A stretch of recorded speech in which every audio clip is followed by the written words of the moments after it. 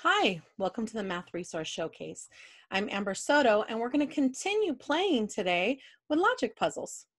The website I'm going to show you today, though, is a little bit tricky because there's several different puzzles, and the site always starts with the word puzzle and then dash, and then the name of the puzzle you're learning.com.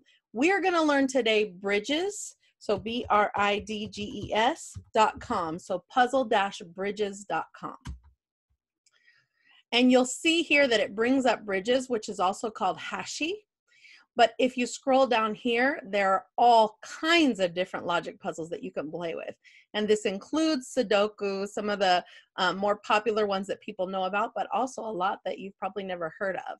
It always puts the rules on the side over here, and then it gives you options of how big or how difficult you want your grid to be. So we're just going to give the one they gave us today. We're going to keep it simple. Um, I'm going to read through the rules kind of at a point so I can show you.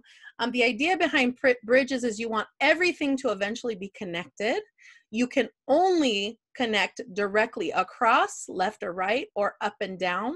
You can't cross over another bridge or go through an island. It has to be one island to the next. And the most you can have between any two islands is two bridges. So you can always have either one or two between two islands. All right, so let's kind of see what this looks like. I always go to my biggest numbers first because it makes sense to me to kind of fill those out. So this has to have six between it. So I grab and drag, and then I'm gonna do two this way, two this way, and two this way because that's the only thing I can do with the six. I can't do any other direction because it's on the edge here. So my six is taken care of. I can click it, put a slash through it, there are six there. Again, my four, there's only two coming out there and the only other direction I can go is this way. So I'm gonna drag two across there and now we have four bridges coming out from my island that says four. Also, this two is taken care of because it's connected by the two to the six.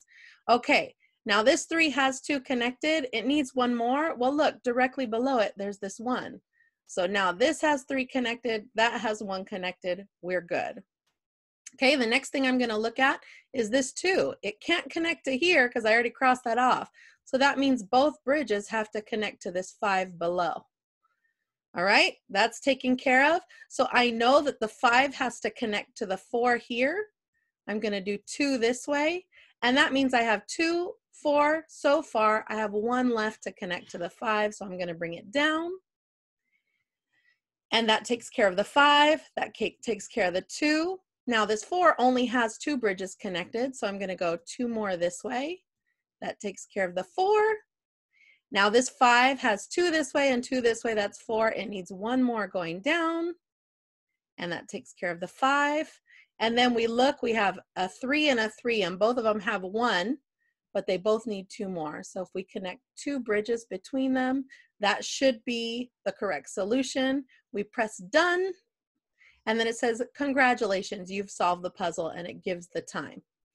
All right, so that is how you play bridges. I'm gonna try to give you another bridges. We had a seven by seven easy on that one. Um, let's see if we can do another seven by seven. Do new puzzle here.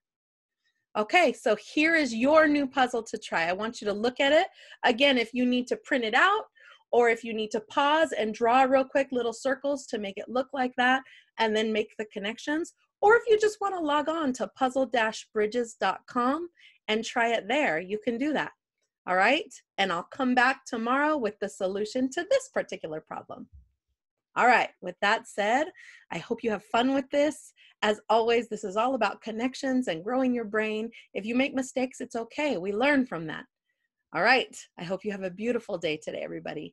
And as always, happy mathing.